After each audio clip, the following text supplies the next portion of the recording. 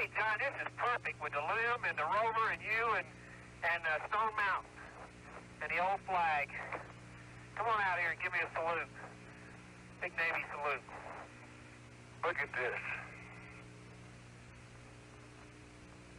That's a pretty outstanding picture here, I tell you. Come on a little bit closer.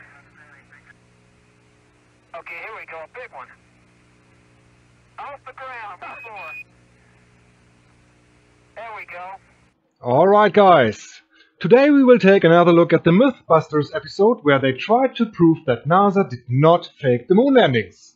It only proved though that these guys are liars and deceivers.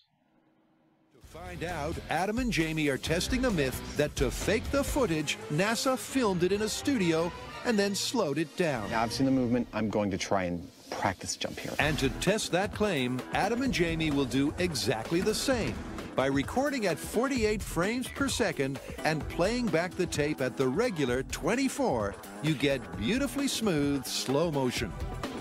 So under lunar-like gravitational conditions, Adam gets to repeat his moonwalk exercises.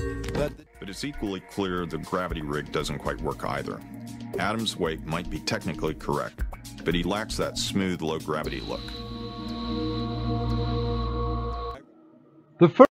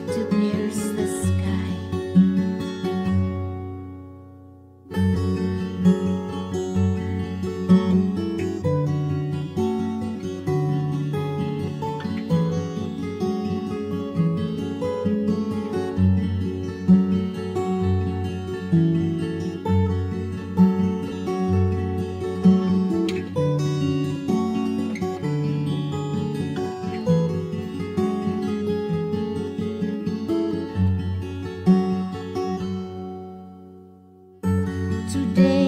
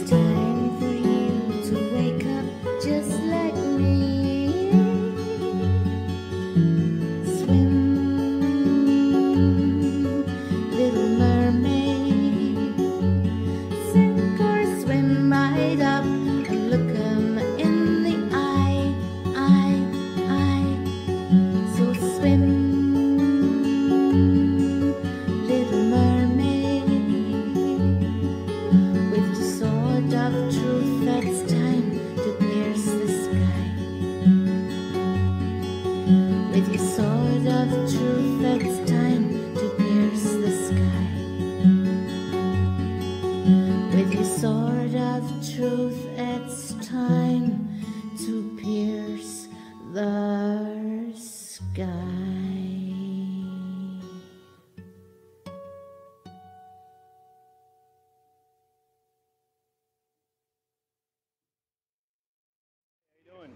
How's Bubbles in Space doing?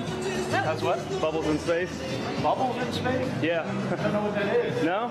You Mr. Kelly? Yeah. Oh, yeah. You don't remember the question from Tampa about the bubbles in space coming up from the helmets? No. Yeah, you guys are in an underwater pool, remember? we know. Just remember. Right side. Team Jesus. Tell the world. Tell the world. Let's go. Let's go. Let's go. Look at the signs now. Can't see or must be blind now. Got us caught up in the lights, trapped in the mind. Seem like truth is a crime now. Yeah, cause everybody got a face today that You can use the stars. The sky is almost white.